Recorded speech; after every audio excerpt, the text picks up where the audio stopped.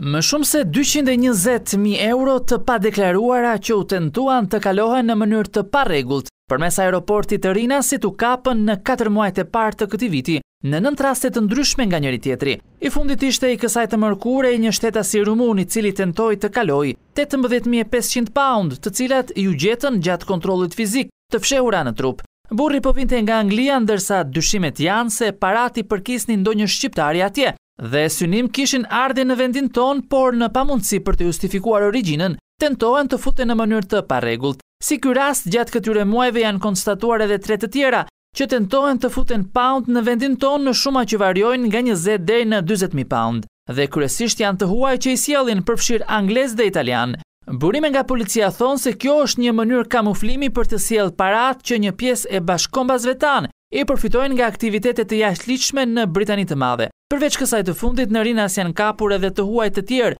që vijnë nga Kina, Turqia dhe Zvicra, Nga nëntë raste në total, vetëm dy prej tyre janë shqiptarë ndërsa të gjithë po hetohen në gjendje të lirë dhe me para të sekuestruara. Blutë thonë se rastet e tentativës së kalimit të parave të padeklaruara në Rinas janë në ulje, kjo edhe falë bashkëpunimit me autoritetet britanike, të cilat kanë investuar në teknologji në aeroportin e Tiranës për pikasjen e rasteve të ngjashme.